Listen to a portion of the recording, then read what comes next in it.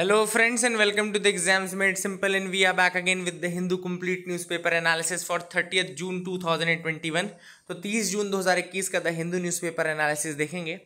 शुरू करने से पहले आज के सवाल जिनके जवाब आपको देने हैं। First question is with respect to protection officers which of the following statement is incorrect incorrect statement आपको बताना है।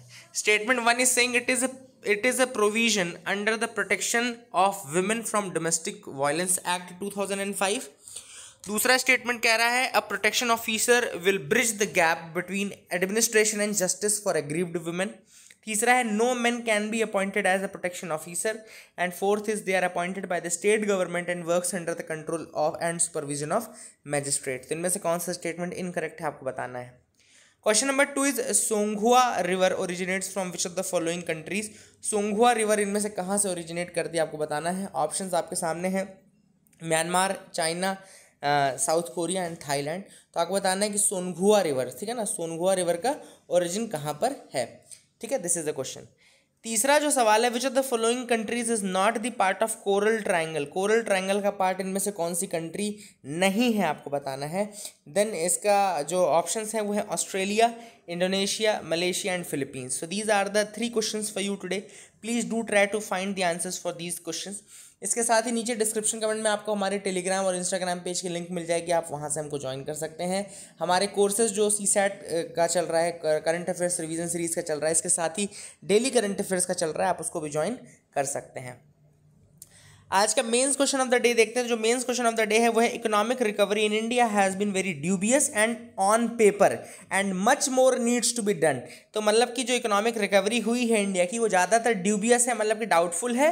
प्लस ऑन पेपर ज़्यादा है मतलब ऑन पेपर ज़्यादा है फ़ील्ड पे थोड़ा कम है। तो आपको बताना है कि क्या किया जाना चाहिए ताकि जो इकोनॉमिक रिकवरी हो रियल इकोनॉमिक रिकवरी हो और ज़्यादा से ज़्यादा हम रिकवर कर सकें। तो what needs to be done more and पहले आपको ये भी प्रूव करना पड़ेगा कि जो ज़्यादा की तरफ़ जो ग्रोथ आ रही है रिकवरी आ रही है ऑन पेपर रिकवरी ज़्यादा है, ना कि एक्चुअल रिकवरी है। तो discuss this question in the light of the recent events तो this is mains question of the day अब मूव करते हैं, हम न्यूज़ एनालिसिस पार्ट में आते हैं। सबसे पहली जो न्यूज़ है, वो है recently the Gujarat prohibition act 1949 has been challenge between before the Gujarat high court अब गुजरात हाई कोर्ट के सामने सत्तर साल पुराना लॉ है, लगभग सत्तर साल से ज़्यादा हो चुके हैं इस लॉ को एंड इसको अब चैलेंज किया जा रहा है। Now this law has been challenge there in the Gujarat high court Gujarat prohibition act of nineteen अब गुजरात प्रोहिबिशन एक्ट क्या है? गुजरात प्रोहिबिशन एक्ट जो है, ये related to sale manufacture consumption of liquor से रिलेटेड है, ठीक है ना? तो क्या हुआ था, गुजरात में आप सबको पता है कि पहले बॉम्बे आबकारी एक्ट था, है ना? बॉम्बे आबकारी एक्ट था, फिर बॉम्बे प्रोहिबिशन एक्ट आया, उसके बाद फिर गुजरात प्रोहिबिशन एक्ट आया था। तो ये जो है एक्ट है this is related to the manufacture sale consumption of liquor in the state wide the Gujarat prohibition act of 1949 तो जो प्रोहिबिशन लगा है शराब के ऊपर, उसके बनाने के ऊपर मैन्युफैक्चरिंग पे उसके कंजम्पशन पे गुजरात में, वो गुजरात प्रोहिबिशन एक्ट के थ्रू ही लगा है और ये 1949 का एक्ट है। अब इसको चैलेंज किया गया है दो ग्राउंड्स पे। दो ग्राउंड्स पे इसको चैलेंज किया गया है। पहला ग्राउंड है मैनिफेस्ट आर्बिट्ररीनेस मतलब कि एक आर्बिट्ररी लॉ है और बहुत सारे स्टेट्स हैं जो जो प्रोहिबिट नहीं करते हैं ये करते हैं। तो कई लोगों ने इसमें इक्वालिटी का भी सवाल उठाया। This is also against the principles of equality this many people are saying that third thing जो uh, लोगों ने इसको चैलेंज uh, किया है वो है violation of the right on right to privacy तो राइट टू प्रिवेसी का वायलेशन है क्योंकि लोग क्या कंज्यूम कर रहे हैं क्या नहीं कर रहे हैं ये भी उनका प्राइवेट अफेयर है। This is their own private affair and no one should be directed to और no one should be judged on that basis तो ये उनका प्राइवेट uh, है। तो this is what has been challenge so these are the three issues three grounds और अब देखो, ये ग्राउंड्स ऐसे आपको पता चल गए तो कल को अगर आपको क्रिटिकली एनालाइज करने के लिए आता है कि गुजरात प्रोहिबिशन एक्ट को क्रिटिकली एनालाइज करो, या बैन ऑन लिकर को क्रिटिकली एनालाइज करो तो उसमें जो पॉजिटिव्स और निगेटिव्स है, दोनों इसी तरीके से आप डिस्कस करेंगे। जैसे कि अगर मैं आपसे बोलूँ कि जो बैन होता है या प्रोहिबिशन होता है, उसके फ़ायदे क्या हैं? उसके फ़ायदे ये हैं कि घर में जो कॉन्फ्लिक्ट है, वो थोड़ा कम होते हैं। और जब होश में रहेंगे तो ज़्यादा इनकम बचेगी, ज़्यादा सेविंग बचेगी इकोनॉमिक रिकवरी होगी। घर का स्टैंडर्ड बढ़ेगा, माहौल घर का अच्छा रहेगा तो पीसफुल रहे, इस एटमॉस्फेयर रहेगा डिप्रेशन कम रहेगा, है ना? ये सारी चीज़ें उसका बेनिफिट्स हैं। उसके नेगेटिव्स क्या है? नेगेटिव्स में कुछ ये भी हैं कि जैसे हाँ ऑब्वियस सी बात है, अगर कोई बहुत ज़्यादा इस तरीके से नहीं पीता है और थोड़ा लिमिट में पी सकता है तो उसके लिए फिर तो नुकसान है, ठीक है? It is their own choice they can have what they want तो इस तरीके से आप अपन उसको डिफेंड भी कर सकते हो। क्रिटिकली एनालाइज में बेसिकली दोनों पक्ष आपको लिखने होते हैं, इसलिए मैं आपको दोनों चीज़ें बता रहा हूँ। थोड़ी सी हिस्ट्री में अगर जाएँगे तो बॉम्बे आबकारी एक्ट था 1878 का which was the first hint at the prohibition of liquor Bombay Abkari act 1878 जो था, वो बॉम्बे प्रोविंस जब था, तब आया था। ठीक है ना? फिर बॉम्बे प्रोहिबिशन एक्ट आया था 1949 में। Bombay prohibition act came in 1949 and there were actually बहुत सारे लैकुनास थे, बहुत सारे चैलेंजेस थे बॉम्बे आबकारी एक्ट के जिनको दूर किया गया। फिर 1949 में प्रोहिबिशन को इन्फोर्स करने के लिए बॉम्बे प्रोहिबिशन एक्ट आया। एंड उसके बाद बॉम्बे प्रोहिबिशन एक्ट 1949 के बाद उसको भी चैलेंज किया गया था, लेकिन सुप्रीम कोर्ट ने इसको अपहेल्ड किया था। Supreme court upheld the act broadly barring a few sections कुछ सेक्शंस को छोड़ दिया जाए तो उनको छोड़ते हुए बाकी सबको उसने सुप्रीम कोर्ट ने अप्रूवल दिया था। इसी के बेसिस में 1949 के बाद गुजरात में भी 1949 में ही गुजरात प्रोहिबिशन एक्ट आता है।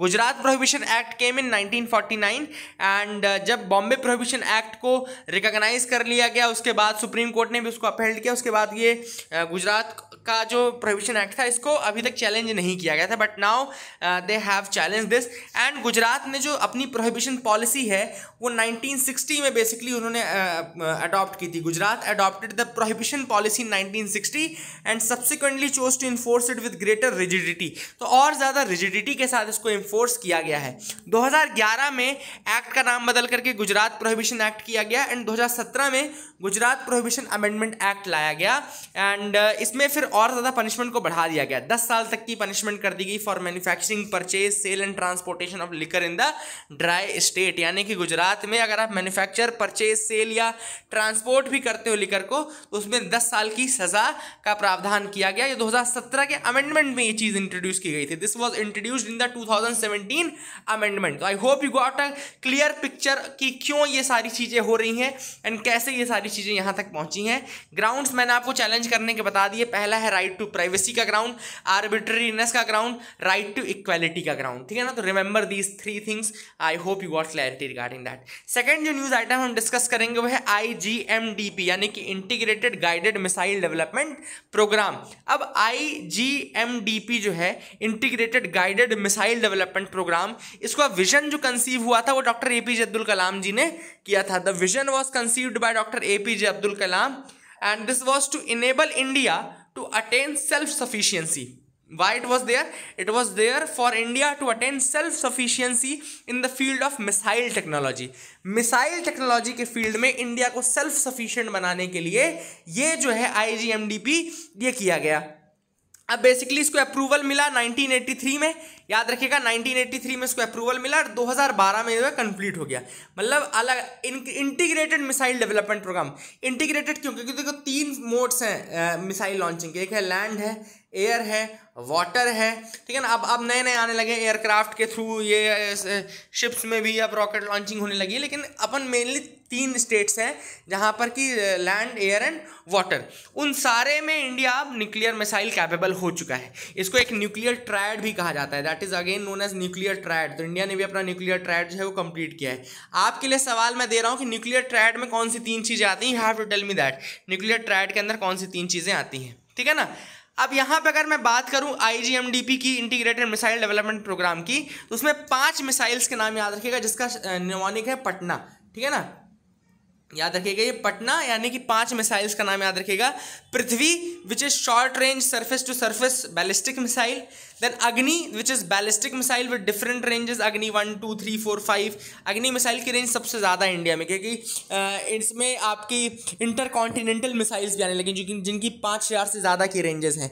तो अग्नि फाइव का जो वेरियंट है, इनकी रेंजेस बहुत ज़्यादा हैं and they have been developed for intercontinental basis मतलब इंटर कॉन्टिनेंटल बेसिस पे इसको डेवलप किया गया है। अग्नि हो गया। फिर तीसरा है त्रिशूल, यानी कि टी से त्रिशूल है short range low sur low level surface to air missile है ये। अग्नि कैसी है आपकी? ये बैलिस्टिक मिसाइल है। त्रिशूल कैसी है? Short range low level surface to air missile है। एंड नाग नाग जो है वो एंटी टैंक मिसाइल है। नाग क्या है? एंटी टैंक मिसाइल है। देन आकाश जो है आपकी सरफेस टू एयर मिसाइल है। Akash is medium range surface to air missile तो remember the name of these five missiles as well है ना? इसको याद रखेगा that is very very important Patna, जो मैंने निमोनिक्स आपको बताया, वो भी याद रखेगा। ठीक है? अब लॉन्च भी दो तरीके के होते हैं। पहला होता है हॉट लॉन्च होता है, जहाँ पे missile ignites in the cell याद रखिएगा, एक होता है हॉट लॉन्च हॉट लॉन्च में क्या होता है? Missile ignites in the cell दूसरा होता है कोल्ड लॉन्च जहाँ पे missile is expelled by the gas produced by the gas generator एक में मिसाइल खुद इग्नाइट होती है सेल में, और दूसरे में कोल्ड लॉन्च में क्या होता है? मिसाइल एक्सपेल होती है by the gases produced in the gas generator और वो खुद मिसाइल का हिस्सा नहीं रहती है, ठीक है ना? बट कोल्ड लॉन्च जो है that is much safer than the hot launch याद रखिएगा cold launch is much safer than the hot launch तो ये भी एक इंपॉर्टेंट फैक्ट मैंने आपको बता दिया. I hope you got clarity regarding that as well तो ये दो इंपॉर्टेंट न्यूज़ आइटम्स हमने अभी डिस्कस किए. अगली जो न्यूज़ है वो है अटॉर्नी जनरल के बारे में। कल मैंने आपको बताया कल सॉरी कल तो न्यूज़ नहीं बनी थी, आज मैं उसका कल वाला वीडियो बना दूँगा। पहली चीज़ तो कल क्या पेपर में एक न्यूज़ आई थी कि अटॉर्नी जनरल का जो टर्म है एक्सटेंड किया गया है। तो अभी हम is is the right time we should discuss about attorney general attorney general जो होता है, वो हाइएस्ट लॉ ऑफिसर होता है कंट्री का which is the highest law officer in the country article seventy six जो है, वो अटॉर्नी जनरल की बात करता है। इसके मतलब है कि अटॉर्नी जनरल जो है, वो कॉन्स्टिट्यूशनल पोस्ट होगी। That is a constitutional post ठीक है ना?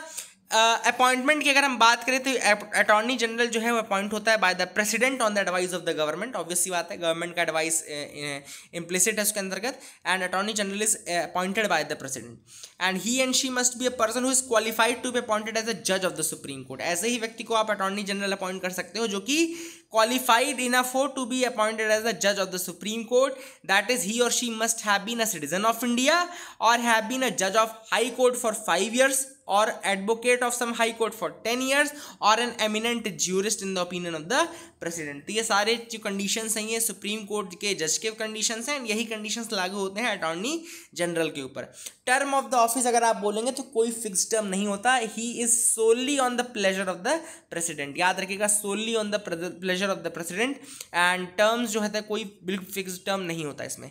रिमूवल की अगर बात करें तो procedures and ground for the removal of A G are not stated in the constitution ये भी इंपॉर्टेंट चीज़ आपको याद रखनी है कि जो प्रोसीजर है या ग्राउंड्स हैं अटॉर्नी जनरल को रिमूव करने के वो मेंशनड नहीं है कॉन्स्टिट्यूशन में. They are not mentioned in the constitution and he and she holds office during the pleasure of the president मतलब कि president can remove the attorney general any time and जब हम ये बोलते हैं कि president can remove the attorney general any time इसके अंदर इम्प्लिसिट एक चीज़ ये है कि सेंट्रल गवर्नमेंट या कैबिनेट जो है on the recommendation of the council of ministers वो जो काउंसिल ऑफ़ मिनिस्टर्स की रिकमेंडेशन है, वो इम्प्लिसिट रहती है. ये प्रेसिडेंट का डिस्क्रिशनरी पावर नहीं है, ये on the advice of the council of ministers ही होता है। You have to remember this fact AG की अगर हम ड्यूटीज़ रिस्पॉन्सिबिलिटीज देखें तो इसका ड्यूटीज़ रिस्पॉन्सिबिलिटीज में have to give advice to the government of India ठीक है ना? जहाँ पे भी लीगल मैटर है कोई तो वहाँ पे एडवाइस देना। To perform such other duties of legal character that are assigned to him और her by the president to appear on behalf of the government of India in all the cases in the supreme court cases में supreme uh, court में अगर case है तो वहाँ पे appear होना ये सारी चीज़ें है ना? इसके अलावा आपको ये भी याद रखना है कि कुछ लिमिटेशंस भी हैं कुछ राइट्स भी हैं। जैसे राइट्स की अगर हम बात करें तो right to speak and take part in the proceedings in both the house of the parliament और the joint sittings on any committee of the parliament where he और she has been named a member but without right to vote committee की अगर meeting है तो अगर वो member है committee का तो वो पार्टिसिपेट कर सकता है। और अगर हाउस है तो कोई भी हाउस पे वो जा सकता है but he will not have the right to vote उसको सारे प्रिविलेजेस एंड सारी इम्यूनिटीज़ मिलती हैं that are available to the member of parliament and लेकिन वो गवर्नमेंट सर्वेंट की कैटेगरी में नहीं आता. है डज नॉट शी ही और she does not fall under the government servants category and he और she is not debarred from private legal practice वो अपनी प्राइवेट लीगल प्रैक्टिस करता रहे. अगर वो चाहता है तो करता रह सकता है. ये भी है. लेकिन आ, वो कोई भी ब्रीफ या कोई भी केस गवर्नमेंट ऑफ़ इंडिया के अगेंस्ट नहीं ले सकता ये एक इंपॉर्टेंट चीज़ है आपको याद रखना है that is the thing which is important and अगर आप इसी के करस्पॉन्डिंग स्टेट्स में बात करेंगे तो एडवोकेट जनरल आर्टिकल 165 जो है वो है इसके अंतर्गत आर्टिकल 165 एडवोकेट जनरल भी है। अगली जो न्यूज़ है वो है बेहतान डैम। बेहतान डैम जो है it is the world second biggest hydro power dam world's second biggest hydro power dam Baihetan dam. That is the thing which is important and China ने recently operation start किए हैं Baihetan dam के which is the world's second biggest hydro power dam largest अगर आप hydro power dam पूछेंगे तो three gorges dam that is again in the China and that is again in the China only and ये जो बेहतान dam है, ये भी आपका यांगसे रिवर पे ही है यांगसे रिवर पे ही है याद रखिएगा। एंड दिस डैम ये यांगसे की ट्रिब्यूटरी है जिनशा रिवर याद रखिएगा। जिनशा रिवर पे है Baihetan dam is in Baihetan dam is on the Jinsha river which is the tributary of Yangtze river and three gorges dam जो है, वो सबसे बड़ा है, ये बेहतान सबसे सेकेंड लार्जेस्ट हो जाएगा। ठीक है इंस्टॉल्ड कैपेसिटी सोलह हज़ार मेगावाट किसकी रहेगी? I hope you got clarity regarding that अगली जो न्यूज़ है, वो मूव करते हैं। World wide fund for nature जो है, उसने कुछ टाइगर्स मिले उसको बर नदी वाइल्ड लाइफ सेंचुरी में। तो बर नदी बर नदी वाइल्ड लाइफ सेंचुरी याद रखेगा Bornadi wildlife sanctuary which is there in Assam इसको याद रखें कहाँ पर ये बर बर नदी वाइल्ड लाइफ सेंचुरी कहाँ पर है? असम में है। This is the thing which is important and Bornadi wild life sanctuary Assam में लोकेटेड है। बक्सा एंड उदलगुरी डिस्ट्रिक्ट जो है, जो कि भूटान को बॉर्डर करते हैं, वहाँ पर ये है। एक्चुअली इसको बॉर्डर करती है इस वाइल्ड लाइफ सेंचुरी को बर नदी जो है बर नदी रिवर है और एक नाला पारा रिवर है। देर आर टू रिवर्स बर नदी रिवर एंड नाला पारा रिवर जो कि इसको बॉर्डर करती हैं। तो I hope you got clarity regarding all these things आप लोग ये थोड़ा सा मैप देख लो, मैप ऑफ़ द डे में इसको काउंट कर लेना आज, है ना? तो ये अगर चाइना का मैप है, जैसे चाइना के मैप में अलग अलग रिवर्स की अगर हम बात करें तो देखो यहाँ पे आपको दिख रहा होगा ये। दैट इज़ द यांगजे ये देखो, ये यांगजे है. दिस इज़ यांगजे हेयर और यांगजे के ही पास आपका, ये देखो, यहाँ पे वुहान लोकेटेड है. There is Wuhan located here only यहाँ पे दिख रहा है. और अगर शंघाई की बात करें तो बिल्कुल ये बॉर्डर पे, यहाँ पे अगर हम देखें तो ईस्टर्न बॉर्डर पे आपका शंघाई भी लोकेटेड है. बीजिंग की लोकेशन आप देख लीजिए. बीजिंग की लोकेशन कहाँ पर है? बीजिंग ऊपर है. शंघाई आपका ये वाले पार्ट में है. तो दोनों इंपॉर्टेंट है. बीजिंग भी इंपॉर्टेंट जगह है और शंघाई भी ज़रूरत इंपॉर्टेंट है. तो ये शंघाई के पास ही देखो, यहाँ पे यांग ये यांगजे रिवर आ रही है. और यहाँ पर आपका देखो ये एक जिनशा रिवर आ रही है। This is the Jinsha river.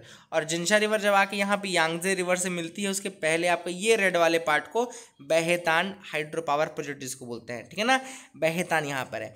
और जिनशा रिवर के ऊपर अगर आप देखें तो येलोंग रिवर भी है। There is a Yalong river again there ठीक है? देखो, एक और रिवर है, देखो यहाँ पे जिनशा रिवर के साथ साथ एक वहाँ पे यलोंग रिवर भी है। देखिए, ये देखो, ये यलोंग रिवर आ रही है, ये जिनशा रिवर आ रही है और ये यांगजे है। तो यांगजे हो गई यांगजे की ट्रिब्यूटरी एक जिनशा हो गई, एक ये यलोंग भी हो गई। तो यलोंग भी याद रखेगा वुहान आप इसकी लोकेशन देख लीजिए। थोड़ा वुहान मेरे को लग रहा है मैप में पूछ सकता है आपसे। क्योंकि कोविड में वुहान बहुत चला था तो देखो नॉर्थ टू साउथ अगर देखो तो बीजिंग सबसे ऊपर है, फिर शंघाई है, फिर आपका वुहान आता है। तो थोड़ा ये ऑर्डर रहेगा।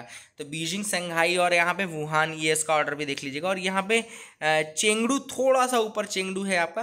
और ये जो प्रोविंस है ना, ये वाला जो पार्ट है, ये आपका जिंजियांग प्रोविंस है, जहाँ पे उइघुर पॉपुलेशन रहती है। तो ये भी आपसे पूछा जा सकता है। तो ये आपका याद रखेगा, जो नॉर्थ वेस्ट वाला पोर्शन है टॉप वाला उसको हम बोलते हैं, आपका कौन सा पोर्शन जिंजियांग प्रोविंस या फिर वहाँ पे उइघुर पॉपुलेशन रहती है।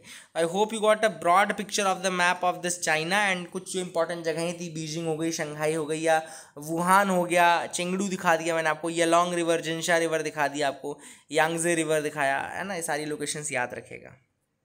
अब यहाँ पे फ्रंट पेज पे एक इंपॉर्टेंट न्यूज़ है ensure that no migrant worker gets hungry supreme court ने गवर्नमेंट को इंस्ट्रक्शन दिए हैं कि पहली चीज़ तो आप किसी को भी राशन कार्ड के एब्सेंस के कारण उनको जो मिलने वाली सुविधाएँ उससे मना नहीं कर सकते। यहाँ पे लिखा है कि government can not abdicate its duties to feed the migrant workers specially during a pandemic merely because they did not have ration cards यहाँ पर उन्होंने क्लियर कह दिया है कि केवल और केवल इसलिए कि उनके पास राशन कार्ड नहीं था, आप किसी भी पुअर को नहीं मना कर सकते हो उसको चीज़ें देने से specially in the pandemic era pandemic के समय खास तौर पे।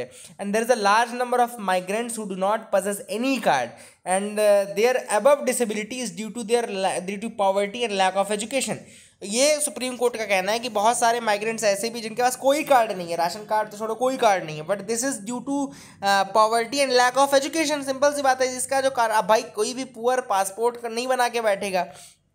या उसको बहुत ही कम इम्पैक्ट पड़ेगा अगर उसने ड्राइविंग लाइसेंस या कहना चाहिए आपका वोटिंग ये कार्ड ये सब नहीं बनवाया तो भी। तो कुल मिलाकर के ऑथर का यही कहना है कि there are many people who do not possess any such card but that is because of their poverty और lack of education and thus we can not abdicate from our duty और the government can not abdicate its duty and they have to feed these per people as well they have to feed these workers as well and यहाँ पर ये चीज़ें observe की गई and अभी government को ये इंडिकेट किया गया है कि आप इसको नहीं वो कर सकते एंड uh, इन्होंने ये भी कहा है कि सारे स्टेट्स को इकतीस जुलाई तक आप one nation one ration card को जो है वो अप्लाई uh, उसको इम्प्लीमेंट कर दो ताकि एक ही राशन कार्ड से पूरे इंडिया में कहीं पर भी अगर व्यक्ति जाए तो वहाँ पर उसको फीडिंग कर सके या राशन कार्ड का यूज़ कर सके। ठीक है ना? That is the thing which is very very important अब आज का जो आर्टिकल हम पढ़ने वाले हैं apt judicial reminder in era of over criminalization बहुत ही प्यारा आर्टिकल है, बहुत ही अच्छा आर्टिकल है, बहुत सारे देखो, लगभग पूरा ही येलो मैंने मार्क कर दिया, इतना अच्छा आर्टिकल ये लिखा था। तो ये जो आर्टिकल है क्रिमिनल जस्टिस सिस्टम के ऊपर है कोर्ट्स के ऊपर है, और यूएपीए और जो सिडिशन एक्ट्स हैं, उनके ऊपर ये आर्टिकल लिखा गया है।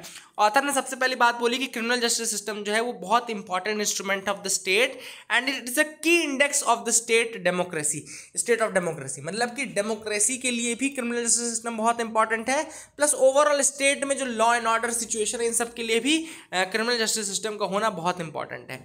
बट बहुत सारे लोगों ने, चाहे वो मतलब कि सिंपल सी बात ये कि हर पनिशमेंट जो है मॉन्टेस्क्यू ने कहा था every punishment which does not arise from absolute necessity is tyrannical Montesquieu ने लेकिन ये चीज़ भी कही थी कि हर वो पनिशमेंट जो एब्सोल्यूट नेसेसिटी से ना निकल रही हो मतलब कि ऐसी कोई भी पनिशमेंट जो एब्सोल्यूट नेसेसिटी से ना निकल रही हो, वो आपकी टायरानिकल है, वो आपकी डेस्पॉटिक है, वो आपकी मतलब कि सही नहीं है। तो यही चीज़ ऑथर ने यहाँ पे बोली कि जो क्रिमिनल जस्टिस में पनिशमेंट का प्रोविज़न है, वो लास्ट रिजॉल्ट के रूप में यूज़ होना चाहिए, या उसको इस तरीके से मतलब जब आपको बिल्कुल ये गुंजाइश ना हो कि इसमें माफ़ी की कोई गुंजाइश नहीं है और इसका जो एक्ट है वो इस कैटेगरी का है कि उसमें डिमांड है कि उसको पनिश किया जाए तो ही आप उसको पनिश कीजिए that should be use as the last resort but author ने यह कहा है कि लेकिन अनफॉर्चुनेटली हो उल्टा रहा है। हो क्या रहा है कि जहाँ ज़रूरत नहीं है, वहाँ पर भी केस पे केस ठोके जा रहे हैं, कोशिश की जा रही है पुलिस द्वारा कि कुछ भी करके इसको फंसाया जाए कुछ भी करके इसको जेल के अंदर डाला जाए। कई केसेस है कई एक्ट्स ऐसे हैं जैसे कि terrorist and disruptive activities prevention act TADA act जिसको बोलते हैं। दूसरा अगर आपने देखा यूएपीए एक्ट अगर आप देखते हैं unlawful activities prevention act nineteen का एक्ट था उसके बारे में। अब ऑथर ने बताया कि बहुत सारे एग्जाम्पल्स अगर आप दो 2015 से 2019 के पीरियड में देखोगे तो लगभग 7,840 लोग ऐसे हैं जो कि यूएपीए के अंतर्गत अरेस्ट किए गए हैं लेकिन इनमें से 7,840 में से केवल 155 ऐसे जो कि कन्विक्ट किए गए हैं बाय द हायर कोर्ट्स ठीक है ना? बाय द ट्रायल कोर्ट्स मतलब कि 7,840 केसेस में से 155 केसेस ये ऐसे थे जहाँ पे कन्विक्शन हुआ और वो भी ट्रायल कोर्ट्स ने किया। मतलब कि अभी वो भी ऊपर अपील्स में जाएगा। तो कुछ अपील्स में भी जाके वो ठीक होगा। तो लगभग 100 से 120 तीस केस ही ऐसे बचेंगे जो कि फाइनली आपके पनिशेबल रहेंगे और कन्विक्शन जहाँ पे हुआ रहेगा। तो कुल मिलाकर ऑथर ने कहा कि ये जो है ग्रॉस मिस है। बाकी के जो साढ़े सात हज़ार लोग थे जो इस ट्रबल से गुजरे हैं अननेसेसरी ट्रबल से गुजरे हैं वो उनका क्या, उनके टाइम का क्या, उनके रिसोर्सेज का क्या what will happen to that अब ऑथर ने यहाँ पे कई एग्जाम्पल्स दिए, कई केसेस के, जैसे कि करतार सिंह केस 1994 यहाँ पे याद रखेगा करतार सिंह केस 1994 इसमें सुप्रीम कोर्ट ने ऑब्ज़र्व किया था that in many cases the prosecution has unjustifiably invoked provisions of TADA with an oblique motive of depriving the accused person from getting bail तो करतार सिंह केस 1994 का सुप्रीम कोर्ट उसमें accept करता है कि कई केसेस में टाडा का इम्प्लीकेशन केवल और केवल इसलिए किया गया है ताकि बेल ना दी जाए। सेम यूएपीए में भी होता है एनएसए में भी यही होता है। अगर एनएसए या यूएपीए का एक्ट करके अगर आपने किया है तो बेल बहुत मुश्किल है कि आपको मिल पाएगी।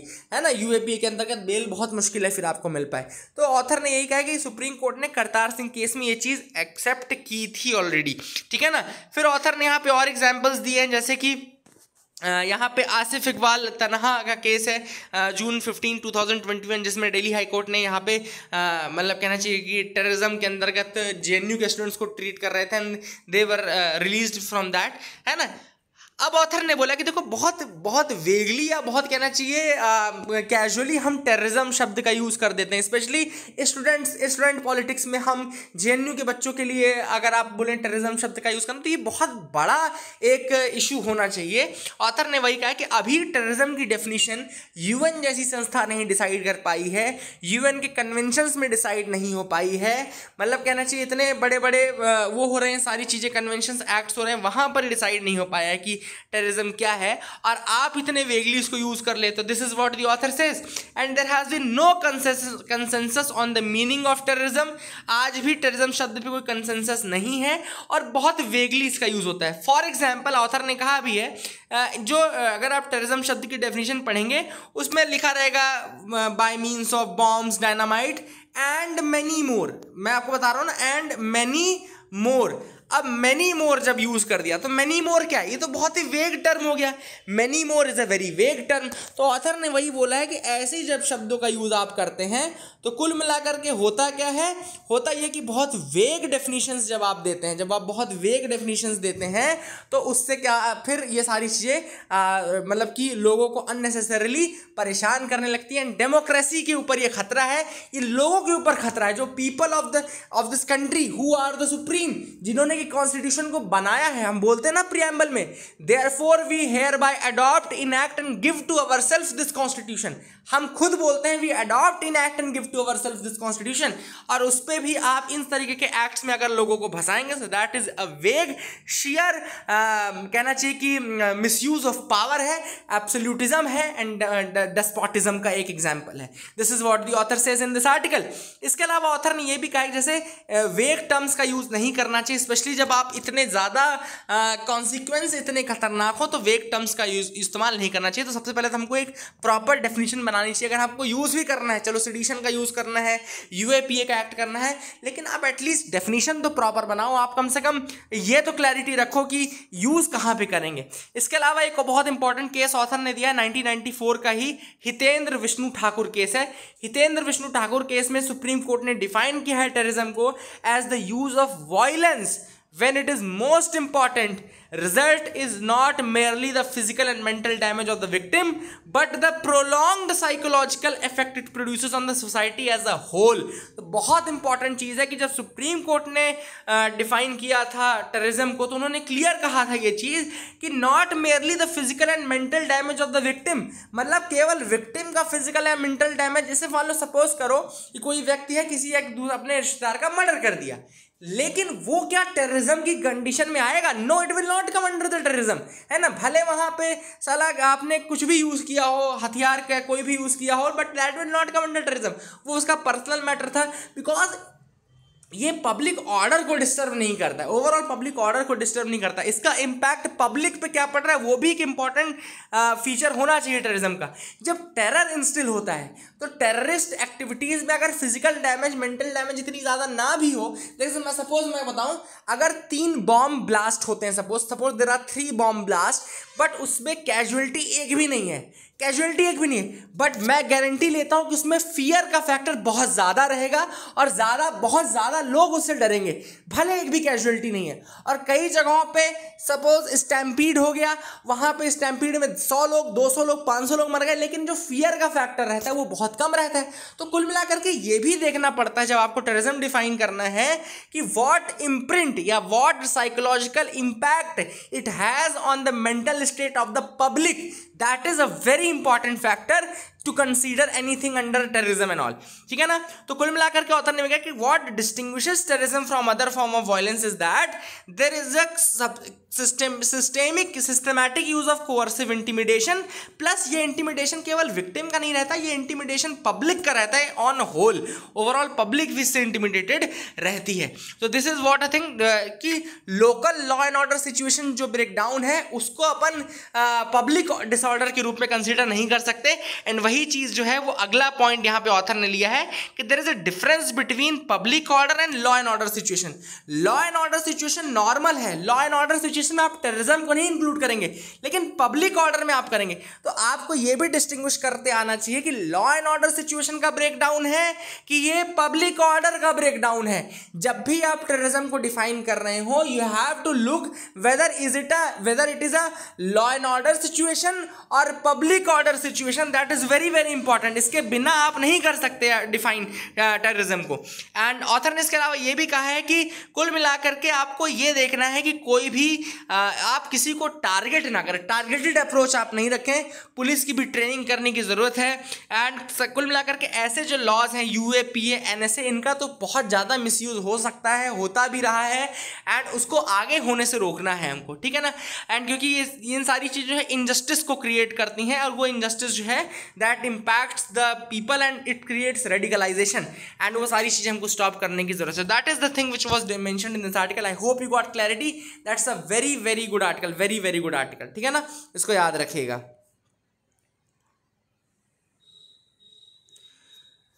आगे मूव करते हैं आज। आज का ड्रोल थोड़ा बड़ा था। आगे मूव करते हैं।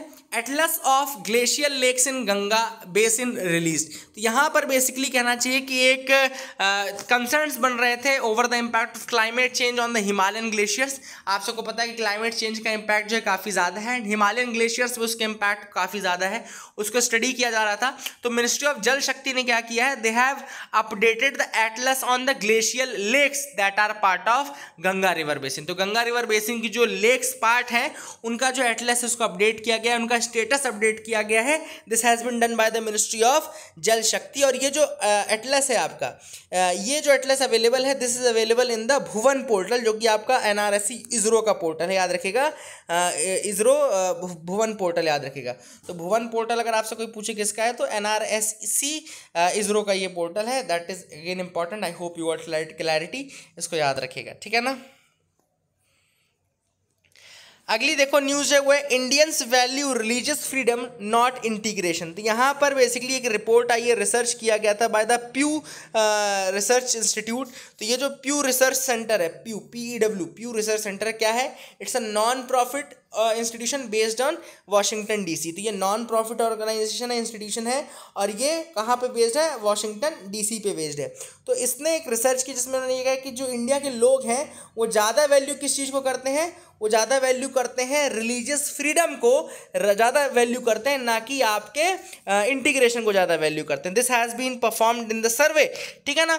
और इंडिया में जो लोग हैं they enjoy religious freedom they value religious tolerance they regard the respect for all religions as central to what India is as a nation stand but ये ज़्यादा वैल्यूज़ की जाती हैं यहाँ पर ठीक है ना? अब यहाँ पे इन्होंने रिपोर्ट में बताया कि ninety one percent of the Hindus felt that they have religious freedom while eighty five percent of them believe that respecting all religions were very important to being truly Indian ठीक है ना? तो काफ़ी अच्छा है this is a very important thing and this is what the secularism of India stand for हमारा जो secularism है that is very much different from that of the western interpretation of the of the secularism west में जो secularism है, वो काफ़ी different है। क्यों? क्योंकि उनके अकॉर्डिंग सेक्युलरिज्म का एक मतलब ये है कि they will not have any any collaboration with any religion बिल्कुल सही बात है। लेकिन they do not promote any religion they do not allow people to showcase their religion but India में ऐसा नहीं हम, यहाँ पे आपको फुल फ्रीडम देते हैं। You can do whatever you want but state not have a national religion state का कोई नेशनल रिलीजन नहीं होगा। सभी रिलीजन और religions have equal freedom in India है ना?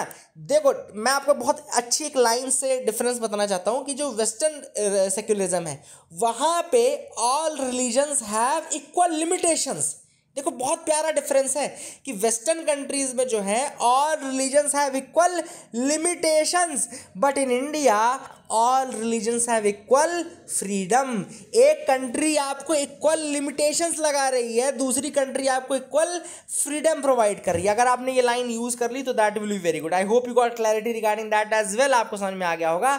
आगे मूव करते हैं, देखते हैं और क्या इंपॉर्टेंट न्यूज़ आइटम्स हैं यहाँ पे। यहाँ पे ऐसी कोई न्यूज़ आइटम नहीं दिख रही है so we can move ahead ahead of air OPEC risk forcing India to tap Iran for oil if prices stay high अब यहाँ पे ओपेक में मीटिंग होने वाली है। ओपेक कंट्रीज़ के बारे में आपको बता दूँ तो ओपेक 1960 में बना था। 1960 में बगदाद में बना था। पाँच मेंबर्स बनाने बनाने के समय थे Iran Iraq Kuwait Saudi Arabia and Venezuela ये पाँच कंट्रीज़ थी जो ओरिजिनल पाँच थी। फिर जो नंबर ऑफ़ मेंबर्स थे वो बढ़ते गए, फिर पंद्रह मेंबर्स पर आ गए। आज वो तेरह मेंबर की ऑर्गेनाइजेशन बची है।